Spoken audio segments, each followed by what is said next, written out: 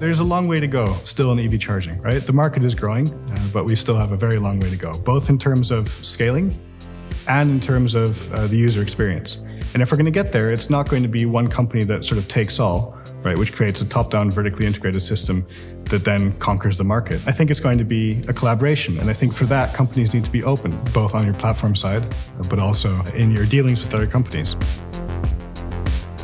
For me, ideal EV charging would be if a driver could rock up to a charging point in their uh, car, they select the e-mobility service provider they want to use, right, the contract that they want to use to charge, so you don't have to deal with an app.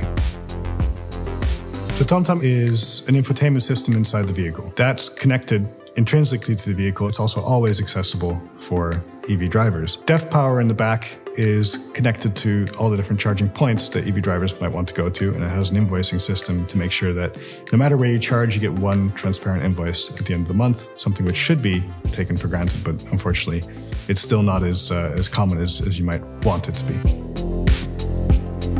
So where TomTom is offering a superior infotainment system to OEMs, Deftpower is connecting in a superior software platform to these operators and to these drivers.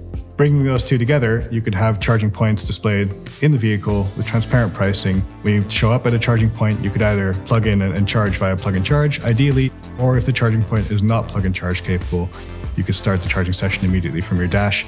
They then plug in and the charging session starts. You don't have to deal with RFID. At the end of the charging session, they unplug, they hang it back, and they receive an invoice. That user experience is made a little bit easier.